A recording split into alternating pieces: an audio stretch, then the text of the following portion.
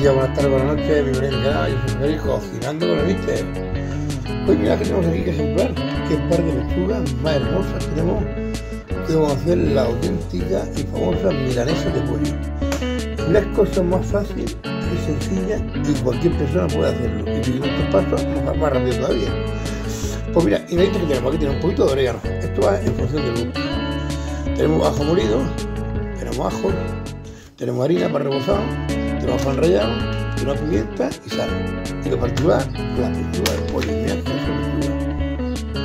Y bueno, ahora vamos a coger con los auténticos famosos cuchillos que tiene aquí el mister. Vamos a sacar unos fileticos y vamos a empezar con el rebozado. No queremos vídeo claro que la gente lo sabe, lo vamos a ver. Vamos a hacerlo por paso, pero una cosa rápida, ¿vale? Así que seguimos con la receta. Y mirad qué fantástico plato, mirad que ya saca aquí el mister. Mirad qué pisuitas vamos a quedar. Y ahora vamos a ir por el rebozado. Como veis, aquí tenemos la harina, el pan rallado y los huevos. Vamos a batirlo y empezamos con el rebozado. Y como estén todos rebozados, que no va a tener nada, pues lo enseño. Ahora a los huevos le vamos a echar un poquito de orégano y sal.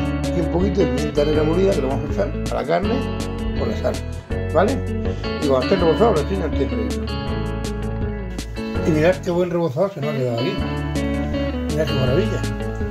Y ahora en la sartén que la estamos friendo unos de jajillo para que le dé sabor. Empezamos a freírlo. Ya una vez que esté frito, no queremos vídeo largo, lo enseño.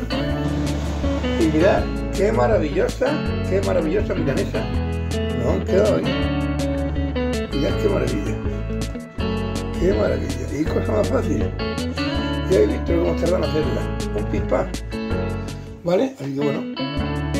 Vamos a pegar un bocadito a esta, a ver cómo está el ambiente. Mmm. Buah.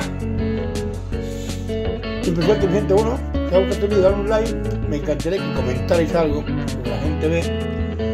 Yo sé que la mitad de la gente llega, pone el comentario y se va a no ver ni el vídeo. Porque hay un sitio en YouTube que se puede saber hasta quién ve tu vídeo. No se va a hacerlo todo el mundo, pero se puede saber.